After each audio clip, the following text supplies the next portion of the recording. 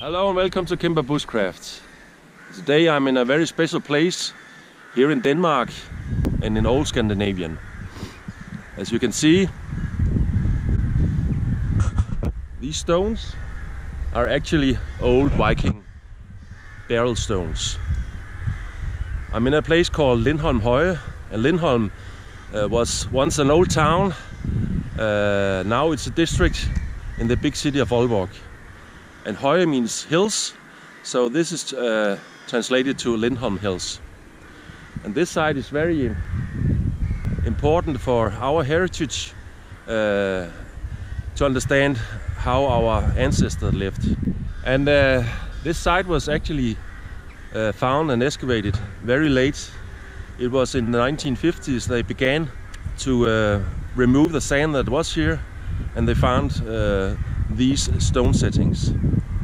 Um, actually, before that, uh, some of the stones that was here had been used for uh, way, uh, road construction because they didn't know what they had uh, to deal with at this uh, site. But eventually, they found out it was a very important uh, place for us Danes and old Vikings.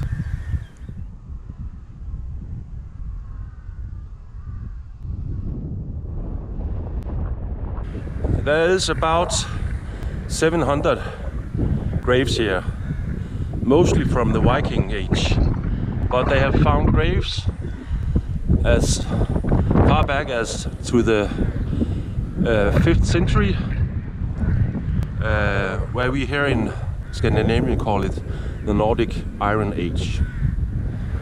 Many of the burial places are uh, shaped like a ship, like a Viking ship.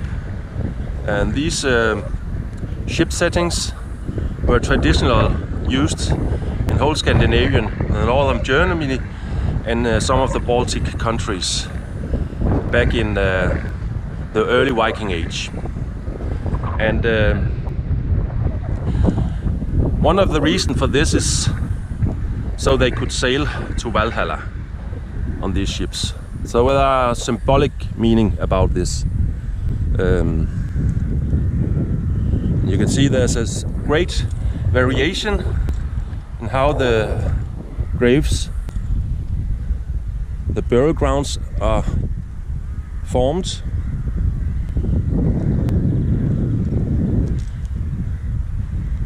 And the city I'm living in, Aalborg, they use uh, sheep to cut down the grass here. So part of the time in the year there's sheep in here that can eat the grass that don't maintain it otherwise. Uh, they actually find uh, an early settlement uh, at the same place dated back to uh, the Viking Age, but it was abandoned around 1100. And uh, the reason for that was probably because they came a lot of sand. One of the reasons why this uh, this burial ground was discovered so late was because it was completely covered in sand. So no one knew it was here before. Well, in the 1800, late 1800, there were people that were excavating here and find something interesting. But it was first in the 1950s that they knew what they had found and uh, what a heritage this is for us Danes and Vikings. Uh, this is an example of uh, how the the settlements that was here uh, was excavated and uh, they probably found some uh, holes here that had been used for wood and uh, the walls here and then they have put concrete in it to preserve it for the after time. Long ago I, I read that uh, you could see uh, how important people was, uh, the ones that were buried here. If they had a big stone or a big ship, it was uh, rich people and uh, people with high importance uh, for the community. So This could indicate that this was for a very important man and his family.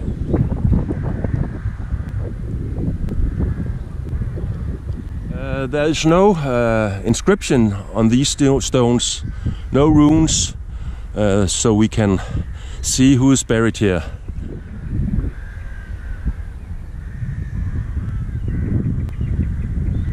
Very interesting to go here and look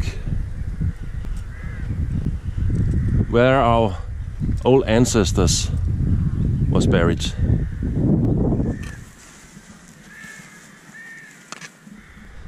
And uh, they didn't get uh, buried here uh, in coffins or otherwise. They were burned on a big fire and then buried underground. That was the most traditional way to do it in the Viking Age.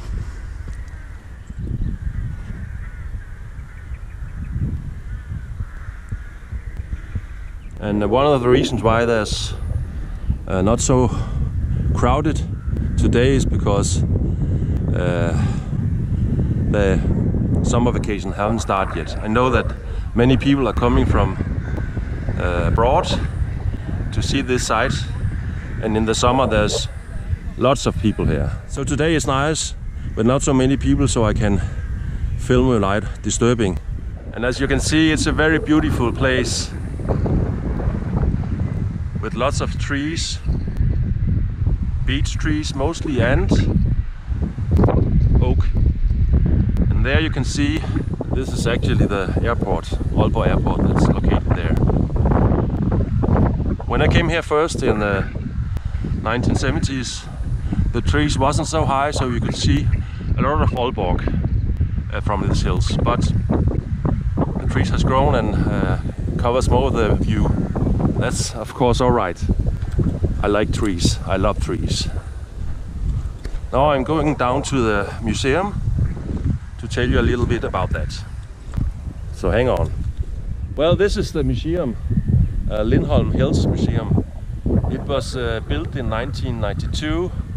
Um, a lot of big companies, Portland and other companies, donated some money so they could build this museum. And inside the museum, they tell you about the Viking Age and the uh, Iron Age here in Denmark. There are a big uh, exhibition, and uh, if you pay money, you can go in there. I can't uh, because I mustn't film, but I put a link down below uh, with a link to a YouTube uh, video that uh, uh, describes what's inside the museum. It's very interesting. Just a short video so you can see how the uh, museum is built and how they are uh, presenting uh, their finds.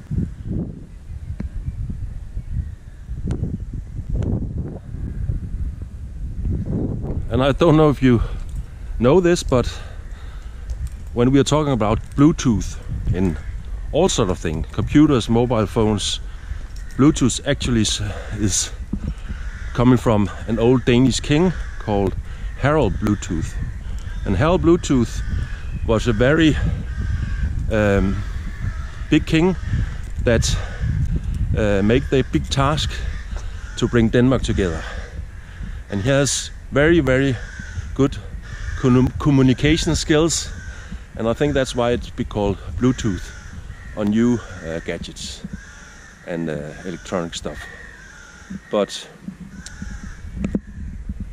Harald Bluetooth, uh, when he came to power, Denmark was a, was not a, a, country that had an, an identity. There were a lot of uh, kings and uh, other warlords that was fighting together. But he he managed to uh, to get peace in Denmark and make the Denmark that we know today. Well, this was all for now. I hope you enjoyed this video and find it interesting. Perhaps you'll learn a little bit about the Vikings and about Denmark and the area I live in. And you can hear uh, the birds uh, the old Nordic birds, the raven. But again, thanks for watching, uh, and I hope to see you in the next one. Take care. Bye bye.